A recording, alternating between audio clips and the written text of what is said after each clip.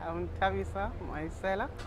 I'm studying uh, my PhD with UCT uh, under the School of Education.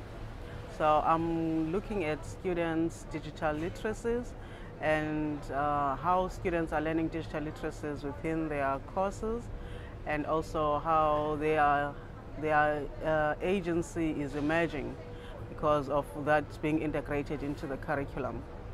Uh, this is also sort of related to my job as a digital literacy coordinator at the university. So it also allowed me sort of some access into the courses because those were the courses that I was also working with the, the respective lecturers on integrating digital literacies into the curriculum. So at least it made my access into those courses much easier.